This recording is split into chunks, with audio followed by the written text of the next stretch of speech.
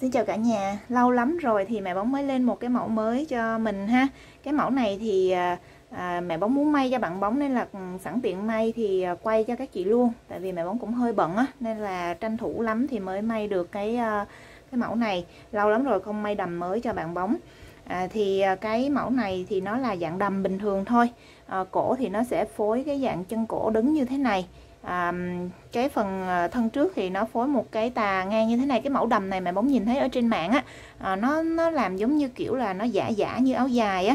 À, cái phía tùng thân trước á thì nó sẽ phối thêm một cái tà như thế này. Ở phía thân sau cũng tương tự như vậy luôn ha. Thân sau cũng phối tà như thế này nè.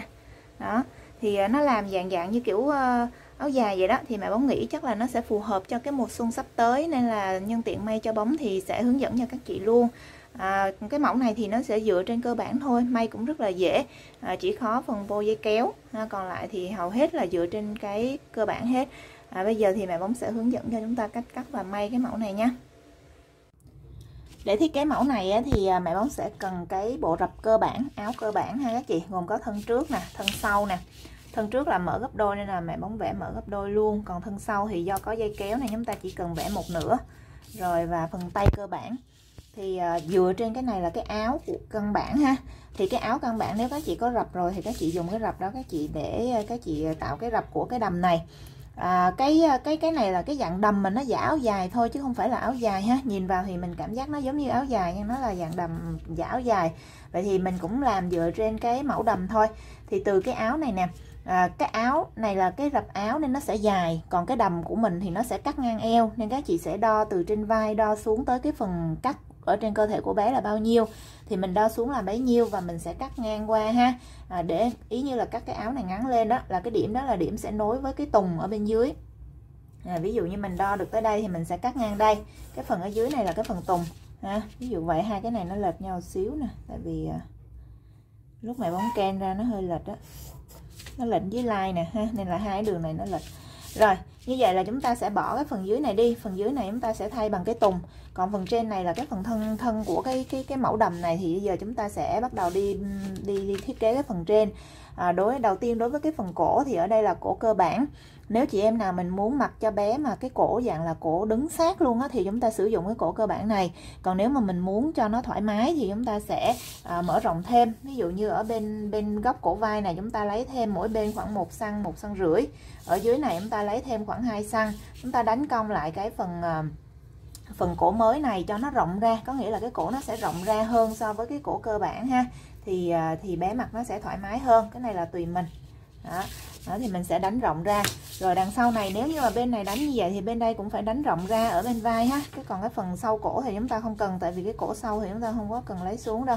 Nhưng mà bên à, bên vai thì chúng ta phải lấy để cho hai cái vai nó khớp nhau nè đó thì như vậy là xong phần cổ. Nếu mình muốn nới rộng thì mình sẽ nới rộng nhưng mà rộng vừa phải nha tại vì cái cổ này là dạng cổ đứng. Nếu các chị rộng quá thì cái cổ nhìn nó kỳ lắm.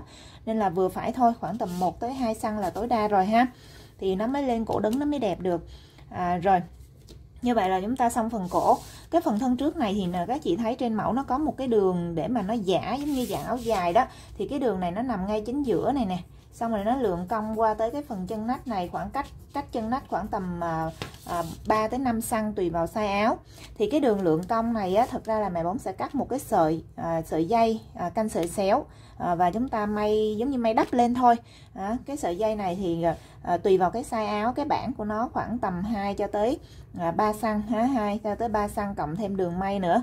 Ví dụ như là các chị chọn là bản 2 xăng thì sẽ cộng thêm 2 xăng đường may nữa là bản rộng 4 xăng.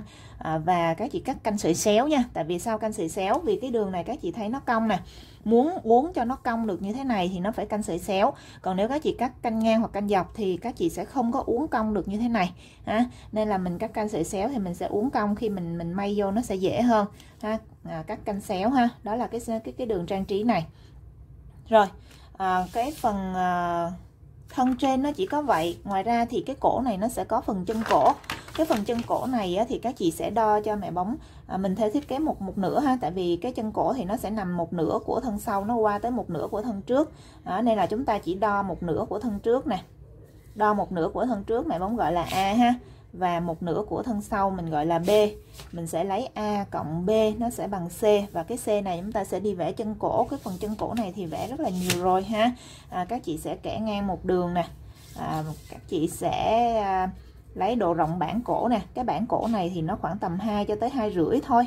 Ha, tại vì của bé mà 2 cho tới hai rưỡi. Ha, cao chân cổ 2 tới hai rưỡi. Rồi cái đoạn này thì các chị sẽ lấy bằng C. Ha, bằng C ha.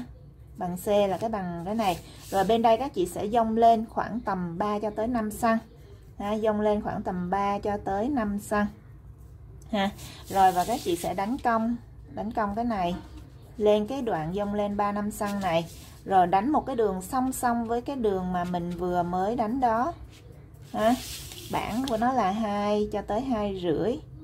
Rồi cái đầu này thì các chị sẽ bo cho nó nhọn ra cho nó ra cái phần chân cổ ha. Đó thì như vậy là chúng ta sẽ ra được cái phần chân cổ này để ráp vào đây. Phần chân cổ này thì các chị có thể ủi keo và chúng ta sẽ cắt là hai cặp nha. Hai cặp đó, hai cặp ừ, tại vì bên trái một một cặp bên phải một cặp ha. Đó, nó nó sẽ nằm từ bên này một miếng nè rồi qua bên đây một miếng nè. Đó thì là hai miếng hai hai cặp hai bên á. Rồi và chúng ta có thể ủi keo để cho cái chân cổ nó đứng. Rồi như vậy là phần thân trên chúng ta xong rồi đúng không? Trước sau nó chỉ có như vậy thôi. À, phần tùng dưới phần tùng dưới thì chúng ta sẽ có hai lớp tùng. Một lớp bên trong là nó giống như cái đầm. Thì các chị cứ cắt ví dụ như cái phần ngang eo này nó là à, cái phần ngang eo này nó là D à, của trước là D. Thì các chị sẽ à, cắt cái tùng dưới nó là à, một cái hình các chị có thể cắt hình thang cho nó có cái độ xòe cũng được ha các cái hình thang như thế này nè. Đó thì cái phần này nó sẽ là D à, nhân với 1,5 hoặc là nhân với 2 tùy vào cái độ nhúng các chị muốn ha. Cái độ rộng này nè nó sẽ bằng D nhân với 1.5 hoặc nhân với 2 hoặc là nhân với 2.5 tùy vào cái độ xòe nhúng các chị muốn rồi thân sau cũng tương tự như vậy. Cái chỗ này là C thì các chị sẽ cắt uh, uh, cái phần giữa này là thẳng ha. Rồi cắt ra đây. Cái phần sườn thì có thể đánh xòe rồi đánh ngang ra chỗ này sẽ là C nhân với 1.5 hoặc là nhân với 2 à, thì nó sẽ ra được cái này rồi mình nhúng lại cho bằng cái phần thân trên để mình may. Thì đó là cái lớp tùng bên bên bên trong là cái cái cái cái váy. Còn có một cái lớp nhúng ở bên ngoài thì cái lớp nhúng này nó giống như nó thay nó giả cái tà áo dài thôi. Thì cái lớp nhúng này các chị có thể nhúng ít hơn nó mới mới mới đẹp. Nhúng nhiều quá thì nó sẽ không không nhìn nó không có giống cái áo dài lắm à, các chị sẽ nhúng sơ sơ thôi. À, thì thì cái D này các chị có thể uh, cộng cái lượng nhúng ít ít lại một chút ha. Ví dụ này các chị nhân 1.5 nhân 2 nhưng mà cái này các chị có thể cộng khoảng 20 xăng độ nhúng thôi chẳng hạn hoặc là cộng 15 xăng độ nhúng thôi. Thì các chị sẽ nhúng cho nó nhỏ hơn cái này. Và cái chiều dài của cái à, chiều dài của cái tà này nó sẽ ngắn hơn ha. Nó sẽ ngắn hơn cái à, nó sẽ ngắn hơn cái cái cái cái tùng bên trong khoảng tầm 10 cho tới à, 15 xăng ha nó ngắn hơn ha cái cái cái cái tà ngoài á. Đó à, rồi à, như vậy là chúng ta xong cái phần tùng dưới thân sau cũng tương tự ha các chị ha. Thân sau á, thì cái tà này các chị có thể may kẹp với cái tùng hoặc là để cho nó rời ra nó bay bay. Thì ở đây mẹ bóng chọn là để rời ra cho nó bay bay còn nếu các chị muốn kẹp thì kẹp vào cái đường này để may dây kéo chung luôn á thì cũng được ha. Rồi còn phần còn lại là phần tay phòng. À, tay phòng thì các chị từ cái tay cơ bản này các chị sẽ rã đưa rã rập ra ha à, làm nhanh nhất đó là mình sẽ rã rập từ cái tay cơ bản này. Ha, mình sẽ rã ra mình tạo phòng đều. Ha cái cái này thì thì thì học rồi ha. Cái này à, sau khi mình à, sau khi mình tạo các đường song song vậy nè thì mình sẽ cắt nó ra nè các chị. Ha, cắt ra ha. Cắt hết ra xong rồi mình mở rập ra như thế này. Rồi mình đánh lại cái tay ha rồi khi may thì mình sẽ nhúng nó lại ha cắt các đường này ra mẹ bóng noi làm sơ thôi. Đó thì các chị sẽ cắt các đường này ra rồi mở rập ra tùy vào độ phòng của mình muốn mình sẽ mở nhiều hay ít. Ha, khoảng tầm à, 3 cho tới 5 xăng một cái khoảng này là được rồi. 5 xăng là nhiều đó nha tại vì các chị mở rất là nhiều đường nè. Nên khoảng 2 3 xăng thì nó đã nhúng nhiều rồi đó. Rồi thì các chị sẽ mở ra xong các chị đánh trơn lại lại ha. Nhớ thì trên đỉnh này mình sẽ thay vì cái đỉnh cũ nó ở đây thì các chị sẽ lấy lên khoảng 3 xăng ha để nó tạo cái độ phồng cho đẹp nè. Rồi cái phần lai này các chị cũng sẽ lấy xuống khoảng 2 xăng ha. Thì khi cái tay ra nó sẽ à, cong nhiều hơn rồi cong xuống một chút. Thì khi các chị nhúng lại nó sẽ tạo được cái độ phồng đẹp hơn. Đó, và cái nẹp lai tay á cái nẹp lai tay thì các chị sẽ lấy bằng thông số cửa tay ban đầu nè cái cửa tay cơ bản này nè. Đó thông số này ví dụ cái thông số cửa tay lúc các chị chưa có mở rập này nè đó là cái thông số cửa tay ban đầu cơ bản đó. Thì cái nẹp đó các chị sẽ lấy theo thông số đó còn cái độ rộng á thì cái độ rộng á thì à, các chị tùy vào cái bảng. Nó khoảng tầm à, 3 cm thì các chị có thể là lấy 3 nhân cho à, 2 tại vì chúng ta gấp đôi và cộng thêm cho 2 cm đường may đó là 8 cm ha. Đó, thì đây là cái à, nẹp nẹp này thì các chị cũng có thể ủi keo để cho nó đứng cái cái tay. Rồi à, như vậy thì chúng ta đã xong cái chi tiết rồi đó. Nó nó dựa trên cái cái đầm thôi ha. Bây giờ thì mình sẽ đi cắt may nha rồi sau khi chúng ta đi cắt vải xong ha thì ở đây mình sẽ có các chi tiết. Ở đây là tay hai cái tay phòng đỉnh phòng lai ha. Hai tay và hai cái nẹp tay. Hai cái nẹp tay này để cho nó đứng thì à, mẹ bóng đã ủi một lớp keo ha lớp, keo mềm thôi lớp keo giấy thôi. À, nẹp tay. À, phần này là phần à, chân cổ. Chân cổ thì mẹ bóng cũng có ủi à, keo mềm để cho nó đứng ha. Chân cổ này thì chúng ta sẽ cắt rời phía sau nè. Cắt rời phía sau để may dây kéo nha phần này là thân sau. Thân sau thì chúng ta cũng cắt rời để mà dây kéo nẹp cổ thân sau. À, mẹ bóng cũng ủi keo ha keo mềm keo giấy để cho nó đứng form một chút cho đẹp ha. Rồi à, thân trước. Thân trước thì sẽ có nẹp cổ thân trước. Thân trước thì chúng ta sẽ cắt mở gấp đôi. À, và cái miếng này là cái miếng à, tạo kiểu à, của cái thân trước. Rồi à, phần này là phần à, tùng ở bên dưới à, cái màu vàng này á, sẽ là cái tùng bên ngoài nó giả cho cái tà áo dài. Còn cái à, phần này là cái phần tùng ở bên trong ha phần tùng ở bên trong là màu nâu nó là cái đầm ừ, cái cái cái tùng liền ha còn cái tùng này là tùng ở ngoài. Rồi bây giờ thì mình sẽ bắt đầu may cái mẫu này nhé. Rồi các bước đầu tiên đó là chúng ta đối với phần thân trước này thì chúng ta sẽ may cái miếng trang trí này vào cái phần thân trước nè. Ở đây mẹ bóng cắt dư dư ra nha mình may xong rồi mình sẽ gọt theo cái đường cong cổ ha à, may miếng này vào thân trước. Sau đó là cái phần nẹp thì mình để rời riêng ra tí xíu mình may sau. Sau đó là mình sẽ à, ráp vai ha, đặt hai mặt phải úp vào nhau để mình ráp vai. À, rồi mình sẽ may lộn cái phần chân cổ này. Đặt hai mặt phải úp vào nhau và chúng ta sẽ may lộn à, cái đường trên của cái chân cổ ha cái đường trên này cái đường cong ở bên trên này. Còn cái đường dưới này chút à, xíu mình sẽ ráp vào cái phần à, cổ trên thân. Đó thì à, đây là những cái bước đầu tiên à, để chúng ta may cái mẫu này à, bây giờ mẹ cũng sẽ làm các bước này nha.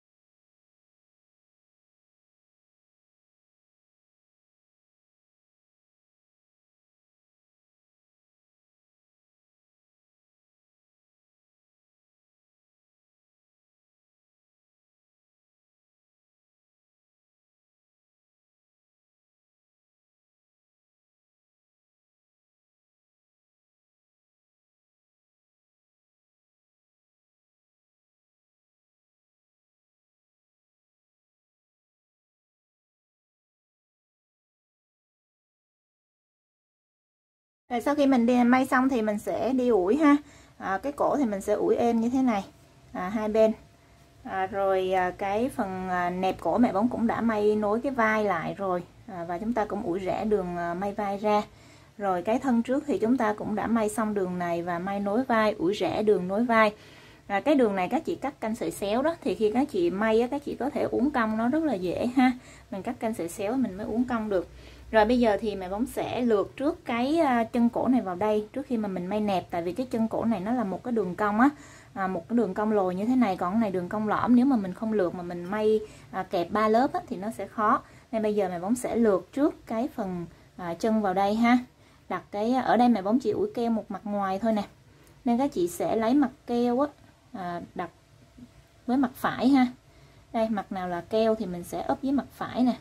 Đó và mình sẽ may lượt ha và mình canh làm sao cho cái cổ này nó nằm ngay chính giữa nha chính giữa của cái thân trước nè. Đó, mình có thể may dàn đây trước con đường đi rồi mình sẽ may từ bên này qua tới bên đây luôn ha.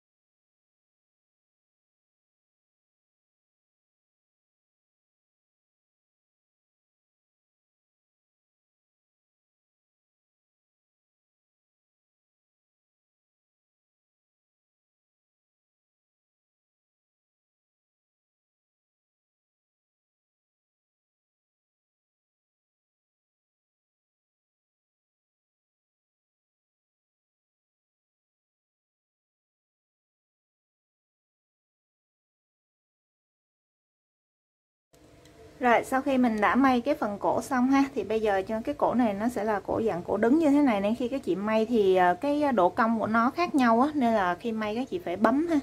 À, Phải bấm thì nó mới sẽ dễ may. À, Như thế này là chúng ta xong phần cổ nè. À, Cái phần đường này chút xíu mẹ bóng sẽ làm thêm cái cúc để đính vào đây ha Cái cúc đính vào đây. Rồi à, bây giờ mình sẽ làm tới phần tùng và cái phần tay. À, Phần tay thì các chị sẽ đi rút nhúng. Tay đâu rồi ta? Cái tay thì các chị sẽ rút nhúng ở trên à, đỉnh tay và ở dưới cái phần lai tay này. À, sau khi may xong rồi thì các chị sẽ may cái nẹp tay vào. À, may cái nẹp tay vào đây. À, rồi à, may thành một cái cụm tay rời đó. Thì cái cách may như thế nào chút xíu các chị thà coi ở trên cái video mẹ bóng may ha. À, đó là về phần tay còn về phần tùng bên dưới á, thì à, nó sẽ có cái tùng màu nâu này là cái tùng bên trong là cái tùng của cái đầm. Thì chúng ta cứ rút nhúng bình thường ha nó đang dài như thế này thì chúng ta rút nhúng cho nó bằng với cái phần thân ở trên. À, để chúng ta may nối vào. Còn cái tà bên ngoài á, là nó tượng trưng giống như cái tà áo dài đó. Thì à, các chị sẽ à, may cái à, à, cái hình chữ nhật này á, hai cái cạnh ở bên hai bên sườn này chúng ta sẽ không may dính vào sườn của cái đầm. Nên là chúng ta sẽ ủi gấp mép và chúng ta may mép giống như là may mép tà áo dài vậy ha. Đó là cái phần hai cạnh bên nè. Rồi cái cạnh dưới lai chúng ta cũng gấp mép lên chúng ta may luôn nè. À, chỉ có cái cạnh trên này á thì chúng ta sẽ nhúng để cho để may vào cái phần eo. À, và cái nhúng thì nó sẽ à, thay vì cái miếng này thì chúng ta sẽ nhúng bằng cái phần thân trên này luôn. À, nhưng mà cái miếng tà này thì chúng ta sẽ nhúng nhỏ hơn ha nó sẽ nhỏ hơn. À, nó nhỏ hơn à, nó không có bằng ha. Chừa cái phần đường may đi đó nó nhỏ hơn. Và thân sau thì cũng tương tự như vậy cho cái phần tùng này luôn. Là phần à, màu nâu thì chúng ta sẽ nhúng bằng cái phần thân trên. Còn cái phần màu vàng thì chúng ta cũng sẽ may uh, may gấp mép hai bên ở dưới lai. Còn ở trên thì chúng ta sẽ rút nhúng. À, và nhúng thì nó sẽ nhỏ hơn cái phần này một chút ha. Tại vì nó sẽ không có ăn vào cái phần đầm. Nó chỉ là cái tà rời thôi nên chúng ta sẽ rút nhúng cho nó nhỏ hơn. Rồi bây giờ bạn cũng sẽ đi rút nhúng và may tay nha may cái cụm tay rời đó.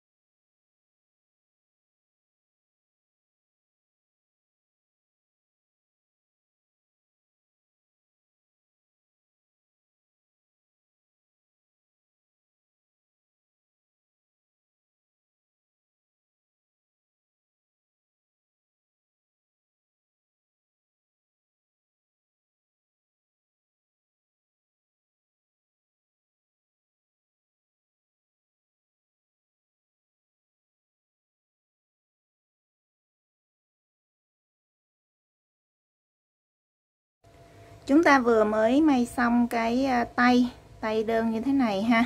À, cái phần nẹp tay thì các chị quan sát cái video mẹ bóng hướng dẫn may rồi ha. Rồi đây là chúng ta đã may xong hai cái tay rời nè. Phần thân à, mẹ bóng đã đi làm cái nút uh, nút bọc mẹ bóng đính vào luôn rồi ha rồi còn cái phần tùng thì à, mình đã nhúng và mình đã may cho hai cái tầng này nó dính vào nhau. Lưu ý là cái tầng à, cái tà ngoài á thì chúng ta sẽ may cách một đoạn để chúng ta có cái phần chúng ta may đường cái chừa đường may đó ha. Chúng ta sẽ sẽ cắt ra một đoạn như thế này ha. Tại vì cái tà này nó sẽ hở nè đó mình sẽ may gấp mép như thế này thôi. Còn cái này là mình sẽ may giống như cái tùng của váy. Rồi à, bây giờ thì à, chúng ta sẽ may tiếp bước tiếp theo đó là chúng ta sẽ may nối sườn của cái áo này để chúng ta may cái tùng ha. À, chúng ta sẽ nối sườn ở hai bên ha. đặt hai mặt phải úp vào nhau nè và chúng ta may sườn ở hai bên. À, tương tự như vậy thì chúng ta cũng sẽ may cái sườn của cái phần à, à, tùng váy. Cái sườn của tùng váy thì chúng ta sẽ đặt trước sau úp mặt phải úp vào nhau. À, phía sau mẹ bóng cũng đã may cho nối hai cái cái cái cái cái lớp này với nhau rồi ha. Đây hai cái lớp này cũng nối với nhau và cũng chừa chừa đường may hai bên như thế này ha. Rồi à, mình sẽ lấy hai mặt phải úp vào nhau như thế này và mình cũng sẽ may cái à, phần à, đường sườn hai bên của cái à, tùng váy này. À, đường sườn hai bên của cái tùng váy này. Đó, và lưu ý là khi các chị rút nhúng các chị phải nhớ là nhúng cho nó bằng với cái thân trên nha. Tính luôn cả chừa đường may rồi này nọ ha. Có nghĩa là nó phải bằng để khi mình ráp sườn xong thì cái phần trên này và cái phần à, cái phần tùng và phần trên nó phải khớp với nhau ha. Rồi à, sau khi mình may sườn ở à, thân trên thân dưới xong thì chúng ta sẽ à, ráp cái tùng này vào thôi ha. Đặt hai mặt phải úp vào nhau và may cái đường vòng eo này nè. À, thì như vậy là nó đã dính liền rồi. À, chúng ta chỉ việc may ở phía à, dây kéo phía sau nữa thôi. Cái phần tay này thì mẹ bóng sau khi may sườn xong thì mẹ bóng cũng sẽ ráp tay luôn ha tại vì nó đã ra một cái ống rồi. Ha, khi mà mình ráp sườn xong nè thì cái nách này nó sẽ là tròn như thế này rồi thì chúng ta sẽ ráp cái tay này vào. Ha, và cái cách may như thế nào thì các chị quan sát ở trên video nhé.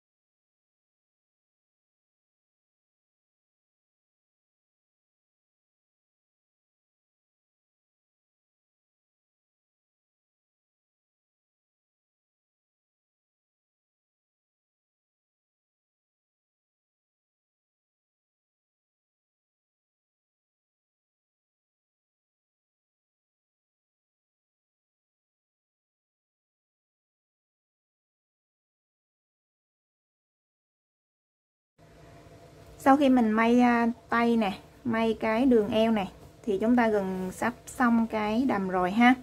Bây giờ mình sẽ còn bước là may à, dây kéo thân sau.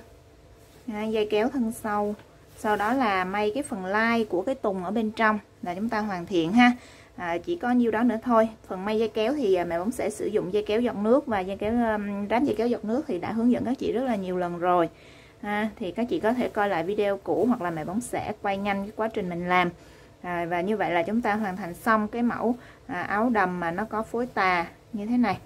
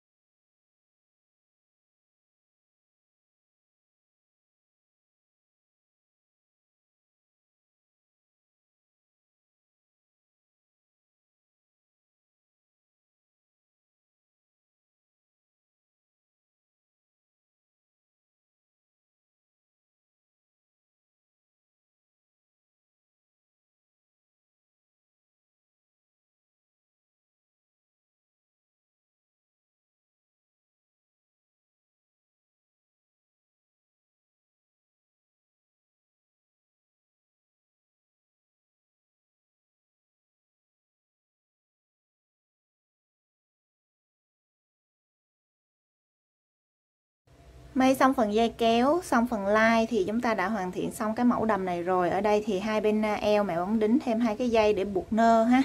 À, đính thêm hai dây để buộc nơ hai bên. À, cái phần trang trí này mình thì, thì tùy mình ha. Thì như vậy là chúng ta đã hoàn thiện xong cái à, mẫu đầm này rồi ha. À, chúc các chị sẽ thành công với cái mẫu này à, cho bé diện vào cái mùa xuân sắp tới. À, hẹn gặp lại các chị ở những video tiếp theo.